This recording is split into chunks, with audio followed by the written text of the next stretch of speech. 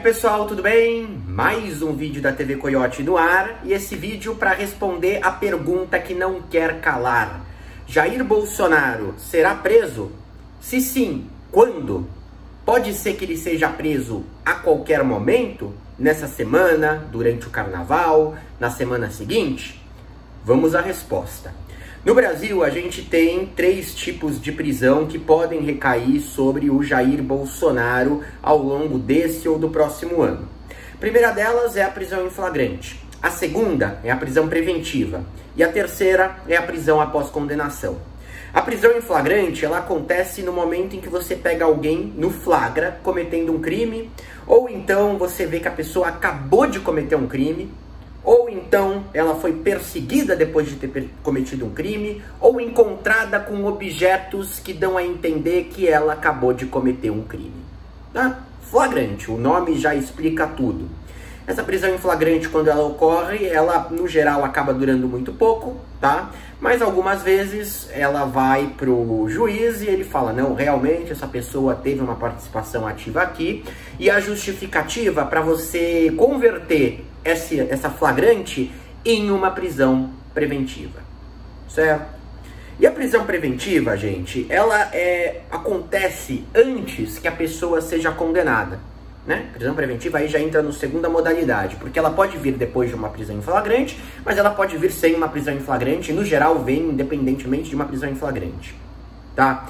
Ela pode acontecer quando você tem provas suficientes da autoria do crime, esse é um pré-requisito. Se você não tem prova, indício suficiente de que o crime foi cometido por aquela pessoa, não pode decretar prisão preventiva. Tendo isso, você também precisa de alguns outros fatores, quatro deles. Né? Qualquer um dos quatro, podem ser dois deles, três, os quatro, um único, tanto faz. Tá? O primeiro, para garantir a ordem pública. O que, que significa isso? Olha, a pessoa se ficar solta, ela vai criar danos para a ordem da sociedade. Ah, mas é muito abrangente. É, acho péssima essa definição de garantir a ordem pública, tá? É, você pode levar isso nas mais variadas direções, mas no geral se espera que se adote uma prudência. É um, é um, risco real muito iminente essa pessoa ficar solta e você tem que provar que ela coloca em risco ficando solta, certo? Tem que embasar isso muito bem, o juiz tem que concordar, a pessoa pode recorrer e por aí vai. Além da garantia da ordem pública, uma pessoa pode ser presa preventivamente para garantia da ordem econômica. Na mesma modalidade, mas ligado aí a criar danos econômicos para o país e tudo mais. Ou então, e muito comum, quando você tem evidências de que ela está atrapalhando as investigações. Ela não foi condenada por nada, é um réu ou é uma testemunha que seja, mas ela está atrapalhando a investigação, ela está coagindo testemunha para mentir, ela está queimando prova, ela está falsificando cena de crime e por aí vai. Prisão preventiva em razão da pessoa estar tá prejudicando o andar né, do, da, da investigação. E a quarta é a fuga. Né? É a pessoa toma, fazer algum ato, tomar alguma decisão é, que possa fazer com que, caso ela seja condenada, ela não consiga ser presa. Ah, mas eu acho que essa pessoa vai fugir. Essa pessoa ela está em residência no exterior, ela vai muito para o exterior, então por isso eu posso prender alguém preventivamente quando eu tenho indícios muito fortes e provas de um crime, né? Porque é, tem uma facilidade de fugir. Não tá valendo, gente. Você tem que provar, provar que essa pessoa tem pretensão de fugir. Pode ser uma mensagem trocada em que ela diz que quer fugir, pode ser algum, algum tipo de prova de que ela tem essa intenção ou que pelo menos pensa nessa possibilidade. E aí vai a prisão preventiva, tá? É... E aí, notem, repito, isso antes da condenação. Quando a pessoa é presa preventivamente, ela não está nem sendo condenada, não é? Não é uma confirmação de que ela, de que ela cometeu o crime é, para garantir que o crime possa ser elucidado e aí depois você pode ter eventualmente ela absolvida e a preventiva completamente revogada. Bom, o flagrante, gente, que eu citei para vocês primeiro, ó, Bolsonaro pode ser pego em flagrante cometendo um crime. Acho que esse tipo de cuidado ele vai tomar. Né? Tem vários atos dele que até podem ser considerados flagrantes e que nunca deu em nada. Mas, vamos lá, é muito difícil. Essa é muito difícil. A preventiva que eu acabei de citar, até agora, não há nenhum motivo que é tecnicamente muito sólido para você decretar a preventiva do Bolsonaro? Nenhum. É, risco à ordem pública, garantia da ordem econômica, atrapalhar a investigação, tendência de fuga. Para muita gente vai parecer que não, mas gente, de verdade não há algo muito claro ali de que alguma dessas coisas vai acontecer o Bolsonaro continuando solto. Certo? Eu até acho que podem acontecer e que existe pretensão, mas a questão é você provar isso e escancarar isso com evidências. Né? Mas é polêmico mesmo. Tem muita gente que acredita que o Bolsonaro poderia ter uma prisão preventiva decretada. Que o Jair Bolsonaro poderia ter uma prisão preventiva decretada, por exemplo, pelas falas que vem fazendo nas últimas semanas a respeito de fraude nas urnas eletrônicas, de que isso é uma forma de você colocar em risco a ordem pública. Eu não gosto de abrir muito leque. Eu acho que prisão preventiva ela tem que ser em casos muito restritos e muito comprovados. Mas sei que é discutível.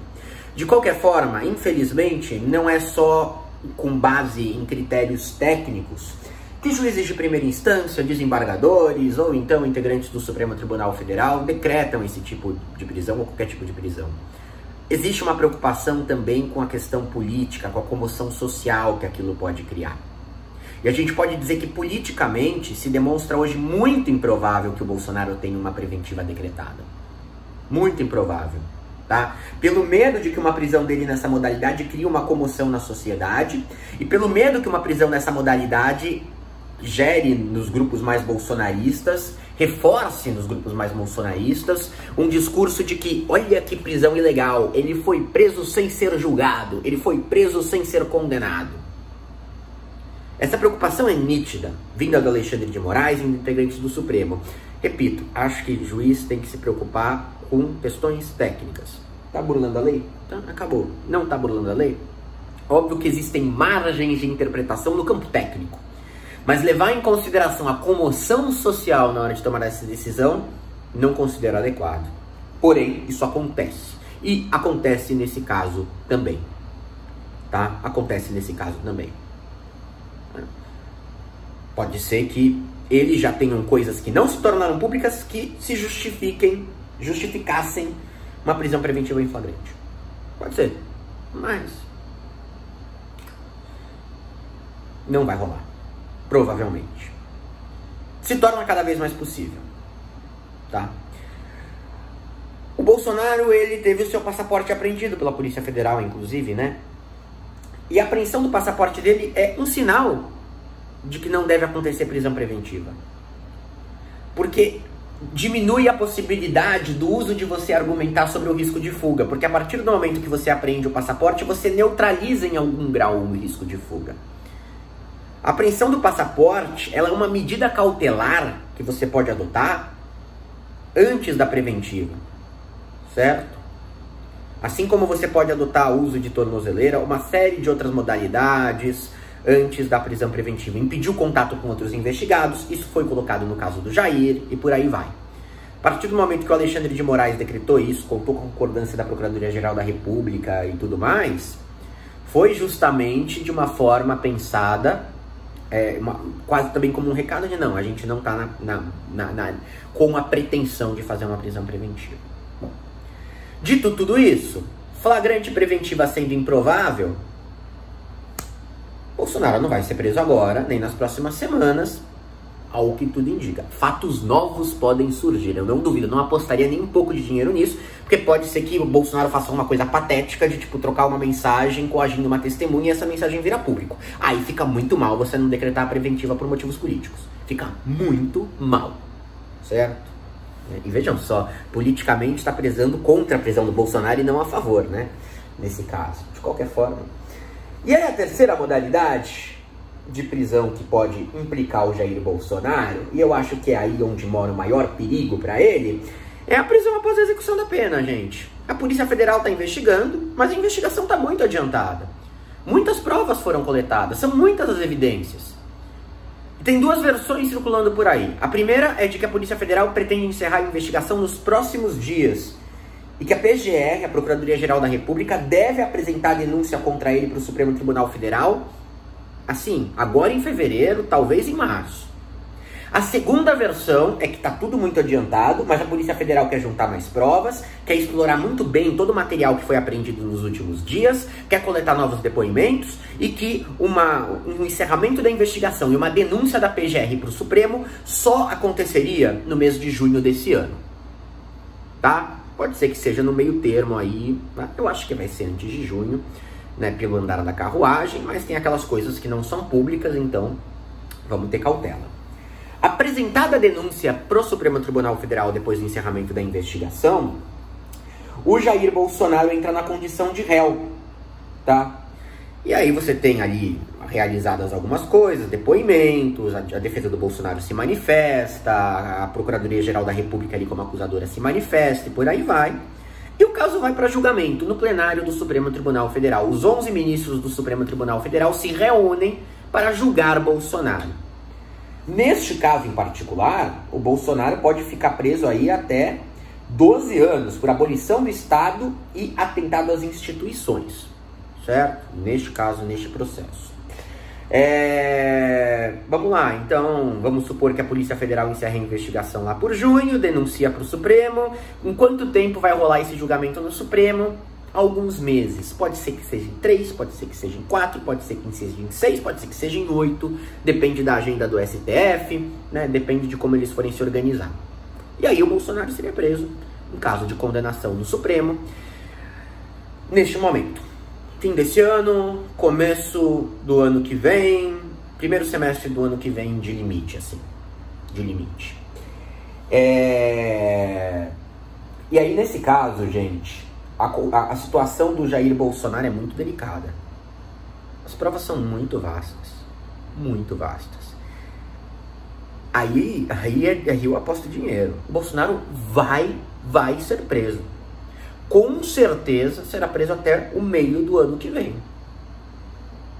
Se aguarde o devido processo legal, que tudo corra corretamente, que ele mantenha com o seu direito de defesa, ele está apresentando sua defesa, Está tudo correndo dentro dos trâmites da legislação, corretamente. Quando não tiver, venho aqui e falo com vocês a minha opinião de que não está e explico por que tem essa opinião e por aí vai. Agora, vai acontecer muito provavelmente, dadas as provas, né? E a gente está observando, a gente já tem uma noção sobre como, como o caso deve ser analisado por boa parte dos integrantes da corte, por aí vai. E notem, esse é o prazo caso você tenha a PF encerrando até junho. Vamos supor que realmente a Procuradoria-Geral da República apresente denúncia agora, tipo, no começo de março. Aí, gente, aí o Supremo já julga ele no meio do ano. E pode ser que o Bolsonaro saia preso no meio do ano, tá? Um parênteses importantinho é, depois do julgamento em plenário, você tem os recursos, não há prisão após antes que os recursos sejam julgados, só que o julgamento desses recursos, embargos de declaração, embargos dos embargos, embargos infringentes por aí vai, ele, costuma ser muito célere, assim, coisa de um, dois meses. Tá? Então também não vai passar muito. É, então notem, gente, só para ficar bem claro, pode ser preso a qualquer momento? Pode ou em flagrante ou preventiva, modalidades que se demonstram improváveis por é, argumentos técnicos que ainda são considerados frágeis e também por um medo político dos envolvidos em tudo isso, do Alexandre de Moraes, da PGR, de que isso cria uma comoção na sociedade que seja melhor você esperar para condenar e prender depois de condenação. Tá? Alguns podem ver como uma prudência, eu acho que é uma prudência que não cabe a um juiz. Acho que o juiz tem que seguir regras e acabou. Tá? De qualquer forma, isso se torna improvável sem fatos novos. Pode ser que saia fato novo, eu não duvido que saia, e aí isso vira muito provável. Tá? Não sendo assim, Bolsonaro preso após condenação, muito, muito, muito, muito, muito, muito, muito provavelmente, se fosse uma daquelas bets, né, estaria 80 contra 1, tá? Você aposta 100 reais, você ganha, você ganha 8 mil, é, e se aposta que ele não vai ser preso, você ganha os próprios 80, né? De tão forte que é essa possibilidade. Meio do ano, ou fim do ano, ou meio do ano que vem, depende de quando a denúncia for apresentada na Procuradoria-Geral da República. Pela Procuradoria-Geral da República. E com relação à agenda do Supremo depois para botar em julgamento, essa agenda do Supremo, ela infelizmente também tem influência do campo político, ou seja, pode ser que se chegue à conclusão no Supremo que seria perigoso prender ele durante a eleição ou antes da eleição. O ideal seria prender depois da eleição. Não é para isso contar, mas isso conta. E eu não sei, no caso da eleição municipal desse ano, quanto isso vai ter de peso e o que os, os, ministros vão enxergar como melhor. Em particular, quem monta a pauta da corte, que é o Luiz Roberto Barroso, né, que costuma agir muito politicamente, né, sempre reclamo muito disso aqui. É, não sei até que ponto vai achar que é melhor uma coisa ou outra. Tá? É, e notem, a gente está falando sobre um processo do Bolsonaro, é o que está mais adiantado assim de risco de prisão, é o que está andando muito rápido, é o que tem mais provas. E posteriormente a tendência é que você tenha mais condenações também nos outros processos. Assim como medidas cautelares como prisão preventiva ou então uma prisão em flagrante podem surgir não nesse, mas em outros processos. Por enquanto não tem coisa, mas pode surgir, certo? Espero que tenha ajudado a esclarecer, gente. Sei que é bastante informação. Se alguma coisa não ficou clara, faça questão de dizer nos comentários, é muito importante. Se a explicação não ficou boa também, tá? Lembrem sempre que vocês podem colaborar com o meu trabalho assinando o TV Coyote Play, em tvcoyoteplay.com, é essencial, é o que garante a continuidade do canal, é o que me banca, né? É o que faz com que eu já esteja há anos aqui fazendo esse trabalho. E até a próxima!